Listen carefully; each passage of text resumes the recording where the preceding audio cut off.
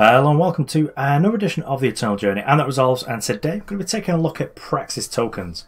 But before we do, uh, I did actually make a video this weekend, sort of explain everything about the uh, the influence store, but I didn't really like the way it came out. So I think I'm going to try and make like a more succinct version of this, and I'll just slide it like at the the front of a video at some point in the near future, just so that people know what's going on.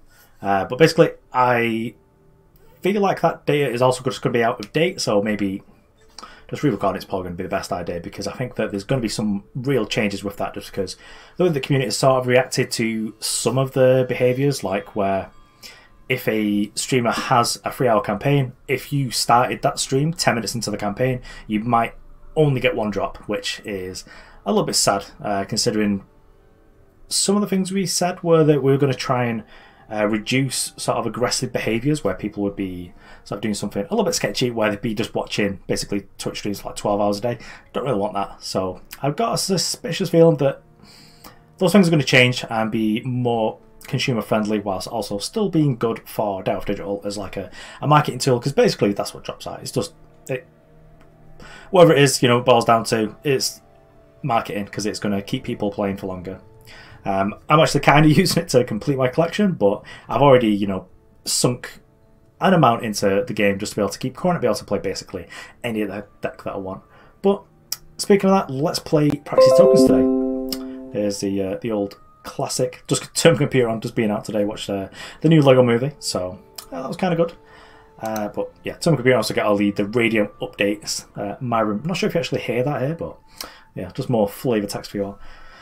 So maybe Praxis Token's fine again. Uh, I saw Milligan playing this on stream. I've actually barely played. Usually I like to be masters in like the first three days, but I start feeling a bit burnt out because second uh, warning for radio, cool. Um, feeling a little bit burnt out because I sort of feel like we could do with like a, a, a, quicker cadence in terms of the releases that we get. But I did watch Mulligan on stream just like slam it with this deck and it does seem pretty cool. So basically standard uh, Praxis Tokens but with Fire Merchant, which is sort of like the rally version of the deck. Whereas, like if you're playing the Time Merchant, now it's a zero four, it's a little bit less exciting, but you would have generally had like a pro, uh, a Xenan kind of like a Praxis of all the Praxis in the market, but just getting much more aggressive like Fire one. Uh, maybe we could have like some sort of Praxis card in here, like a um, a Purify maybe, but for now this seems fine. Like Flamestoker's pretty cool. Uh, but what I'm excited about is the synergy between Teach of Humility and Demaran Stinger, because Humility puts discipline weights on your opponent, and Amaran Stinger puts five Destiny cards in your opponent's top, like, is it top 20? Yeah. So there's a, a, nice little synergy there. It's not always going to come off, but, you know, uh, that's still sort of like just good deck building. So this is a slightly more assertive version of tokens as well. Uh, there's a lot of the nonsense cards that tokens used to play, like uh, Humbug Swarm, sort of sort of being removed now, as well as uh, the Praxis Displacer. Uh, but we're just playing like a bunch of charge threats and sort of like multiple bodies like and John. So let's go onto the ladder and see what this can actually do.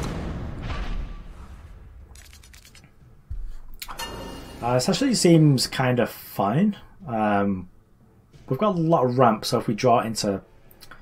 I mean, probably going to assembly line on two, actually. Yeah, we'll keep this. If we draw like an obelisk, though, this hand's like absolutely absurd. And if I put torches or oh, initiate, which is usually correct, uh, we'll just get to play Trailmaker instead.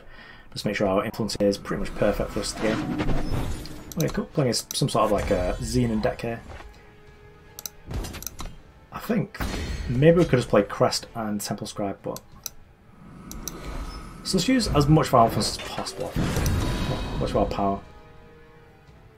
It's crack up on for four next turn, because unlikely up to do it Maybe there's like a torching star for our initiate, but so doubtful. Also, if we just like draw her obelisk, this is a lot of damage. There we go. So, you know, smart, Finn, lucky, all that sort of stuff. Just uh, good old fashioned Praxis tokens.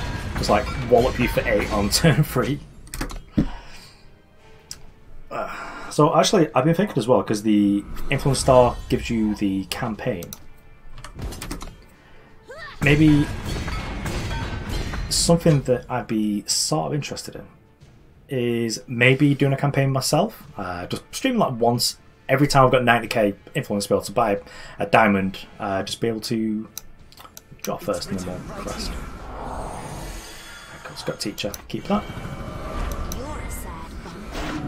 Crest. Uh, Rally's good because Rally will kill our opponent. I mean, what we've got in play is going to kill our opponent anyway, but just make sure we definitely do. So our opponent can play Vara here, and I think we kill them anyway. Uh, let's just make it less. and uh, we can only go up to 6 power with the Trailmaker, so I'll just boop it in. And Rally should be able to seal it here. Yeah. Boop. Million you. Yes, we're thinking about that something that I'd like to do where maybe because like streaming just doesn't fit with my lifestyle whatsoever. But I've got two things I want. So I want a Eternal card game T-shirt or hoodie, just so I can wear it on the street, on the well, on the channel really, because I think that'd be sort of like good for the brand, rather than occasionally wearing like a Channel Fireball T-shirt. It's probably better if I just had like an Eternal one. I have spoke to Scott a couple of times and been like, "Are you okay with me printing my own?" And I think the answer sort of been like, "Maybe." Uh, so I could just print my own, but I would prefer just have the official one. So it sort of suits both things. I had to give a bit back to the community by having this diamond campaign, like once every 90 days or whenever, it is that I actually earn the influence to buy it. Uh, but also, I get to eventually become a bronze or silver, I can't remember. Whatever level streamer it is you have to be to be able to get that t shirt.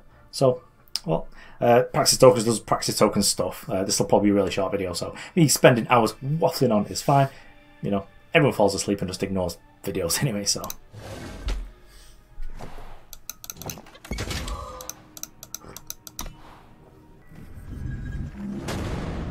Also got an interesting comment last week where someone was just like, "Ah, oh, you cut," because I don't know, it's a weird one. Uh, this hand, it's actually kind of keepable because you get to like scribe into a assembly line and with pretty much guaranteed playing a heart level here. Think can do better, but I do like it because it's just like multiple bodies. We're playing against an aggressive deck, it's cool. Got an interesting comment. Uh oh, playing against a, a chill deck. So, got.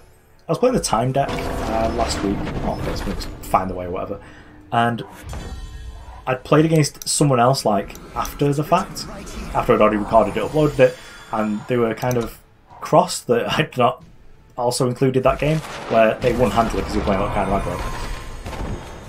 Just seemed sort of weird because I don't actually just like uh, you know, plan play teacher. Don't actually just uh, record every video ever. Uh, Temple Maker, don't really need that. What I generally do is I'll decide if I'm going to play five or three games. Ooh, okay. So our opponent might be holding up a Marshal here, so I'm going to attack before I do anything. Yes, this is Desert Marshal. Silence this, kill this. That seems like... Yeah, that seems like the best way to go around it. I also get to wipe you for free though, so that seems good by me. Ooh, this is kind of difficult. Uh, we could go and get Flamestoker. I do like that, but I think that I'm just going to like assembly line, just make a bunch of one ones. Then, if we are still alive, we could potentially set up like a rally for like lethal. But yeah, I don't like savagely edit. Oh, hailstorm. Rats. It's just temple scrap, I guess. I don't like savagely edit the videos. Usually, I sort of. Okay, cool. So, I've got like the guaranteed heart next turn. I generally just sit down and play for the amount of games. Though this video is actually feeling a lot more like a, a, stream, but I'm talking to like the, the collective audience rather than anything else. Would like to see an obelisk actually. Okay, well we could set up the rally here actually, but I think I'm just going to crack our opponent for two and then just play a big boy, make our opponent like cash rule, and then we can set up like some damage for later. Also, if we draw any more power, we literally don't need it for an obelisk, so... Oh, there we go.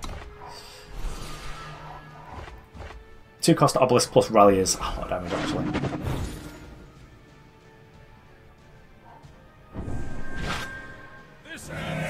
Partial's fine. Ooh. Well, we've got like double merchant, which is nice. Um...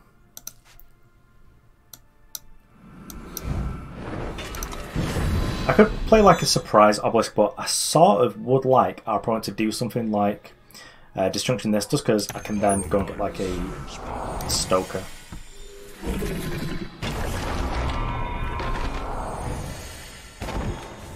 Okay, we'll get to get our opponent for some damage if we want to. I think we might just go and get Obliterate. It'll get the job done, guaranteed. I get Obliterate. Uh, we could try and crack our opponent for like 8 points if we wanted to, brings them down to 9. That's kind of low. Uh, but I think It'll get the job I'm just gonna guaranteed. get Flamestoker. It's not fine actually, just get it for 4. Probably should have done it the way around, maybe I put a player on like a torch, but even if playing on a torch, it's all fine. Because you still block there, don't you? Yeah. I don't think we'll lose anything, but would like to have like. Flamestoker just seems good against a deck that's going to try and wipe the board.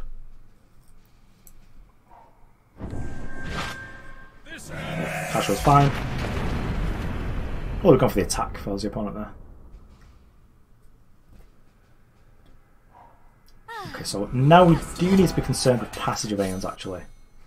Uh, because passage. Oh, okay. That's what our opponent's doing. Well, I suppose you're going to see one of those games now where our opponent gets to potentially destroy us. They've got Nikto, which is I'm sort of fine with. Uh, next turn, probably just going to like obliterate this just to get in, make sure we actually get in for the full damage of Flamestoker. Well, this doesn't really matter, does it? If they block, it's like fine. Okay, so if this is a passage of Aeons, I'm going to scoop it up and move on to the next game. Yep. Because I don't feel like coming back from that. But happens. I guess that proves our uh, our comment from last week wrong that I don't edit these games out. Literally just play them.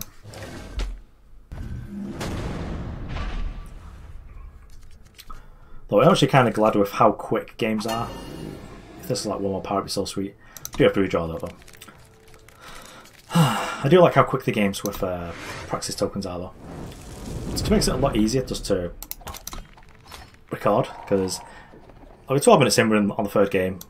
I'm very likely to be able to. Yeah, get rid of that. Don't need more power. Very likely to be able to just get another one or two videos in. Oh yes, there we go.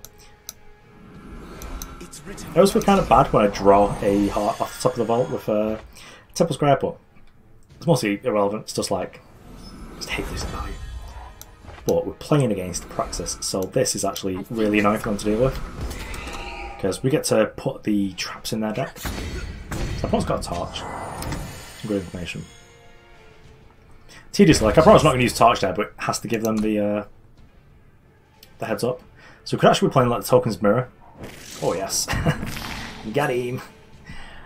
Uh, this is kind of good because it, prevent, it prevents our opponent from being able to Mind Stingers, I guess. Okay, so if they're playing really merchant, maybe they're playing like a bigger version. Just gonna crack in for crack with the team. Okay, no blocks off the opponent. So they must want this power. Hmm. Sort of interesting. I, I'm gonna crest though, I think. We do lose a body though that way. No, we can crest next turn. I think more bodies because the one extra body is like an additional torch because of the rally. So do we set up lethal? Opponent's got one blocker, let's say we've got uh, four, five, the block with two, I guess. Three, four, five, six, plus like a million. Uh, let's crest and see what we get, because we can still do it from this turn. Waystone? Nah. Let's see how our opponent blocks, and then we'll decide if we rally or not. So 3, 6, 9, 12, 15, 18. Cool. Opponent does have a torch, so they are gonna... Oh, they don't have a torch. They must have traded torch away because it's bad. Sort of interesting. I wonder what that pause was then. Well, I'm gonna have to go and re-roll my uh, second quest now because I've got a silver one. So generally, um, you want to complete your gold chests on the day that you get them, uh, because then you get like an additional chance of a gold chest the next day. Because if you've already got the gold chest, then you only get the reroll on that chest. It's all very strange, but just gotta try and maximize value.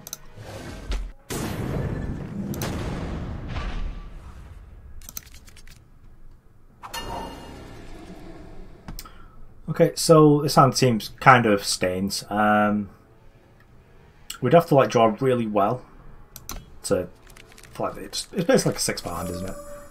Uh, this is kind of good, also kind of difficult because like, do we pledge Cykalis? I think we don't. I don't actually like a lot of the pledge cards though. Um, even the sort of bad ones are like two factions. So like, I like Chunk in Skycrag Aggro just because you get to have like more sigils on like turn one. Uh, to be able to play like only Ronin or your Snowcrest Jetty.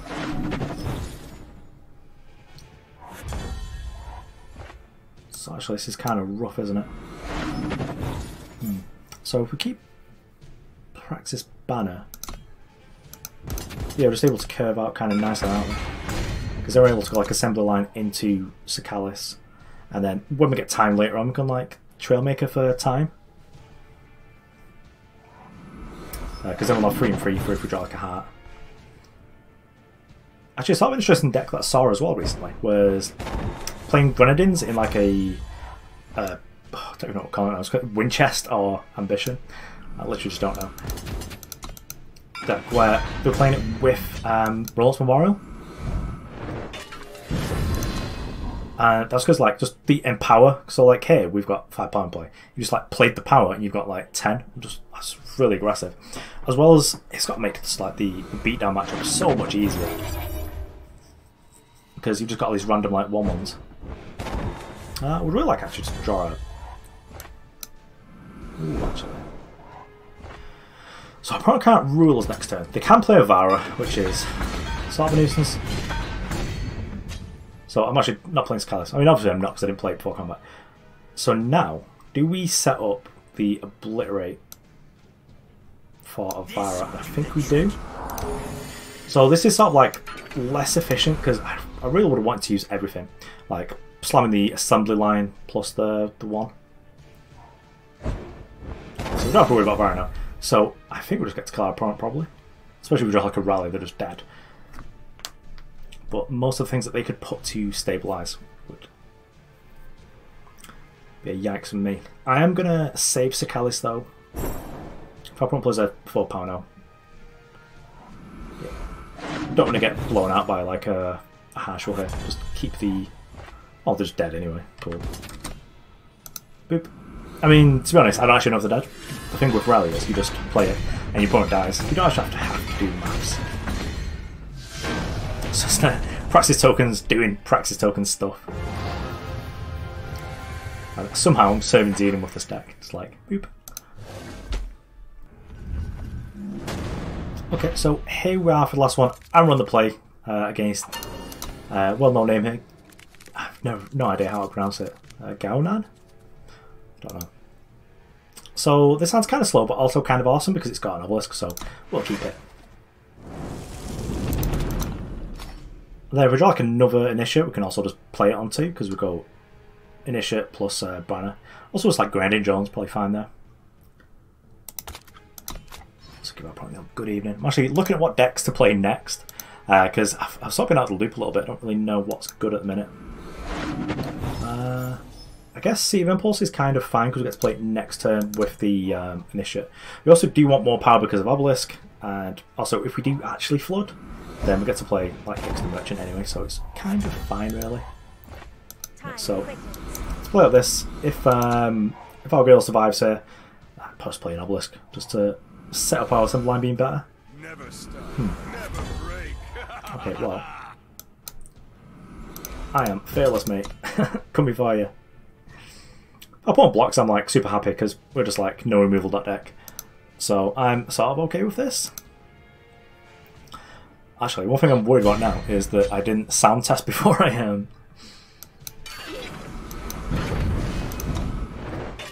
Yeah, before I uh, turned, before I started recording, I didn't actually sound test like I usually test. So this could sound awful. Uh, so look what's good in this deck, or against this deck. If I want was to crack us for forts, don't want to crack us for a million, it's fine. Uh, the damage that we're planning on doing is just going to be like a bajillion because we've got rally. Yep, six me. so, we can scribe. We could play Obelisk and try and like wall pop on it. Hmm.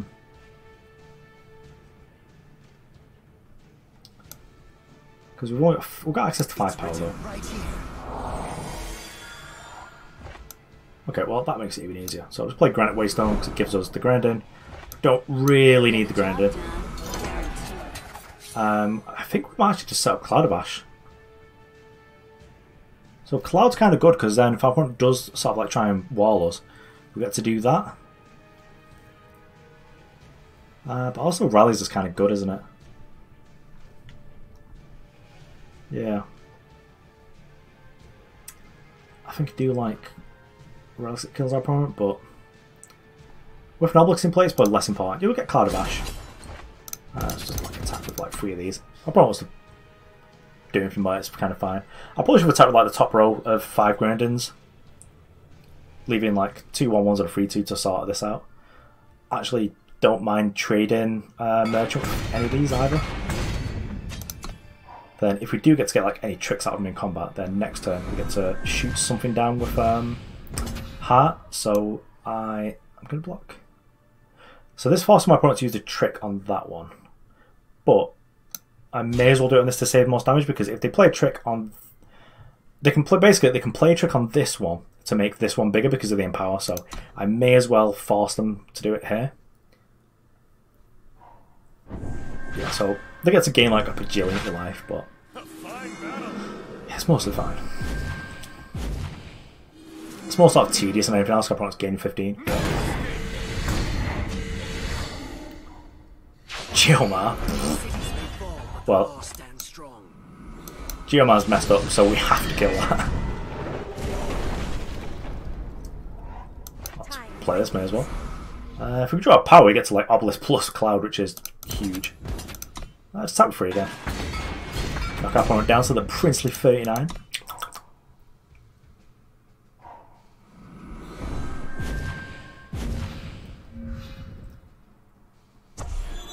Yeah, Blade was sort of fine.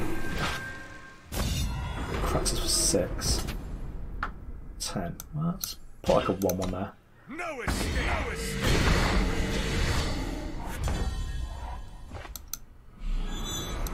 This will do the trick. So I've got a bunch of free frees now. Well, these girls here ain't blocking, so we'll with them for sure. Attack for 12, that seems good. Got millions of bodies back to sort of protect ourselves. Ah, the empower of these is sort of tedious, isn't it?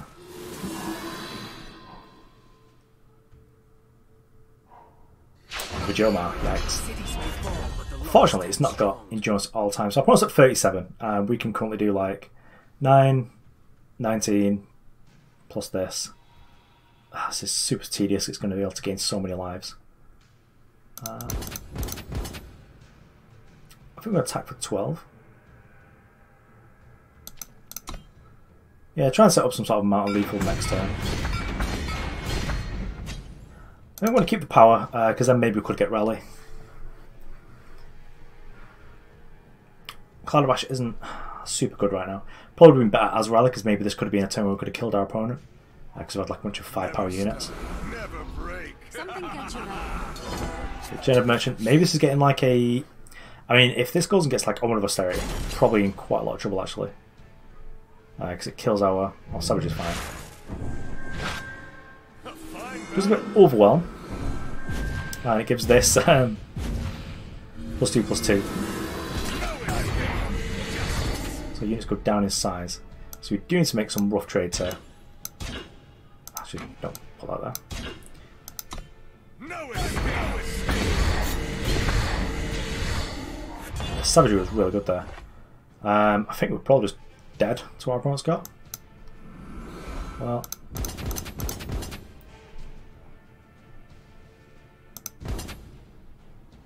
Attack on.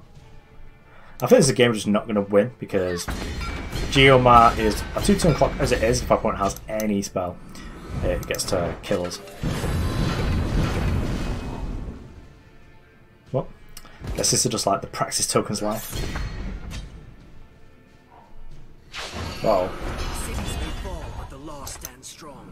Well, Let's uh, just give our opponent the old business. yeah, Rally would have been better.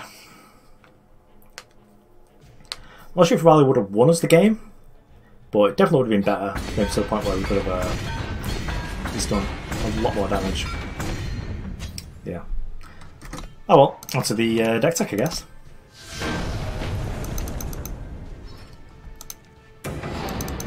Okay, so here we have it. Um, I actually think there might be some sort of shell, like maybe not now, but maybe in the future, where Praxis could have like an aggressive deck because I do actually kind of like uh, Teacher of Humility and Amaran Stinger together. Uh, just they've got a nice little synergy, which I do like.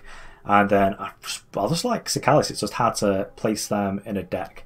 Uh, I guess they're kind of good in the Elysian Maul deck that I keep saying I'm going to get around to, but just never do. It's just it just never feels good to play the deck, so I just don't want to record it, but I guess it is is a potent one. But we'll, we'll get around to it eventually. But right now, this is just like Praxis tokens, really. There's not much to say about it. Um, it's probably one of the easiest decks to make on a budget because uh, you really don't need like Teacher Humility, you don't need Heart of Vault, you don't even need well, you don't don't need a uh, Cykalis because we managed to get away with not using that for the longest amount of time. Uh, I think pretty much like the, the only staples of the deck that are like rares is like Xenan Obelisk and potentially the Merchant, but you can get by with just like loads of random sort of like token makers and other sort of like two forms like Ambraclite. I just managed to grind your opponent out and then just overwhelm them with just huge units. But it's not there's not too much to analyze when it comes to Praxis tokens. It's just like it's it's a fine deck that will if your opponent's trying to do something slow and they just don't really interact with you too much, you just able to kill them. And you can actually there are builds of this, like in the past where you could beat like FJS unitless who were just playing basically just like Hailstorm and like eight other like harsh rules. And you're just able to still kill them just because Xenan Obelisk just turns everything into a threat. Because like a powered up, well, ultimate Xenan Obelisk, like you just put six Barrack Blade Grinding Drum. That's just busted. But yeah, that's it from me. Thanks for watching. See you around.